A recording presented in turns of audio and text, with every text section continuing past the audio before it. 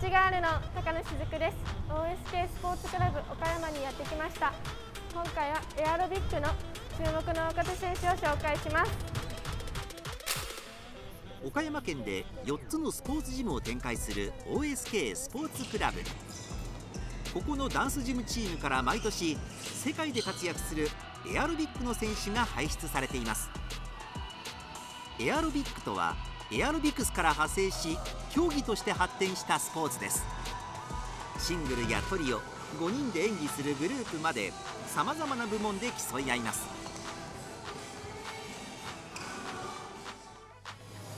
コーチを務めるのは大原美希子さん。これまで数々の有名選手を育ててきた名コーチです。えーと、とダンスジムという名前なんですけれどもやっているのはエアロビック競技でえー、世界大会世界日本代表を目指してみんな頑張って練習しています、えー、音楽に合わせてノンストップでどんどん次から次へと技が繰り広げられてストップしない動きとあと音楽との一致性だと思います。トップの選手に求められるものは技術力だけではなくやはりそのチャンピオンらしさ人間性が出てくると思いますので特にこういった表現スポーツではやはり中身が人間の中身が きちっとしていないとなかなか競技の成績には結びついていかないです。小学生から大学生まで幅広い年齢層が所属するダンスジムチームの中でまず注目の若手選手が小学4年生の山内美良選手。大原コーチがこれからの成長を期待する選手の一人です。山内選手よろしくお願いします。どんな選手なのかいろいろ聞いていきたいと思います。エアロビックを始めたきっかけは何ですか？小さい頃から踊ることが好きでお母さんに連れて行ってもらいました。そうなんですね。エアロビックの魅力はどんなところですか？一人一人の個性を演技で表現できるところです。山内選手の強みアピールポイントは何ですか？元気に楽しく踊れるところです。そうなんですね。じゃあ毎日楽しんで踊ってるんですか？はい。得意な技や動きは何ですか？サポートが得意です。手に力を入れてお尻と足を浮かせる技です。ですね今課題にして取り組んでいることは何ですか？来年ユースワンに上がるので獅子の場などの少し難しい技にチャレンジしています。練習がないオフの時はどう過ごしていますか？本が好きなので本屋さんに行って本を探したりしています。どのような本を読んでるんですか？小説などを読んでいます続いて注目なのが山本理央選手。現在は大学生で全日本選手権では優勝経験もあるエアロビック界のトップ選手です。山本選手よろしくお願いします。エアロビックを始めたきっかけは何ですか？小さい頃から体を動かすのが好きでで近くのスポーツクラブでそのエアロビックをしていたのでそこに体験で入ってその楽しくて始めました。そうなんですね。何歳頃からやってたんですか？4歳からしてました。そうなんですね。エアロビックの魅力はどんなところですか？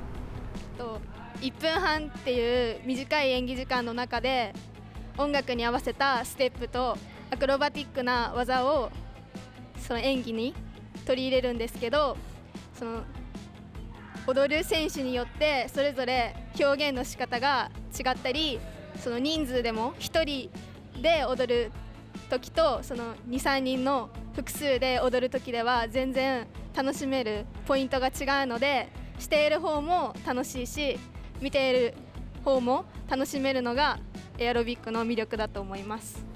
そうなんですね。山本選手の強みアピールポイントは何ですか？私のアピールポイントはスピード感と迫力のある演技だと思います。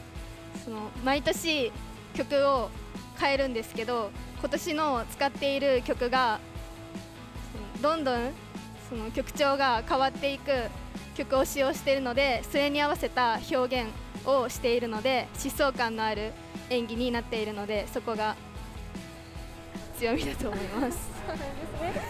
ありがとうございます。得意な技や動きは何ですか？はい私の得意な技はシザースリープからパイクジャンプっていうコンビネーションの技です。そのいろんな選手がやっている技ではあるんですけどその自分の強みであるスピード感とかがその発揮できる一番発揮できる技だと思うので大事にしています。今課題にして取り組んでいることはありますか？今年からルールが変わって技の実施っていうのがその厳しくなったのでその一つ一つの技を丁寧に行うのはもちろんその演技中で綺麗に行えるような体力づくりも課題かなって思います。ありがとうございます。練習がないオフの時はどう過ごしていますか？練習がない日は私は映画が好きなのでよく映画を見たりしています。何の映画を見るんですか？なんかジャンルっていうよりは好きな俳優が出ている映画とか好きな小説がその実写化されたものとかをよく見ます。OSK スポーツクラブダンスジムチームの中で今後もますます活躍が期待される山内選手と山本選手最後に今後の目標を伺いました。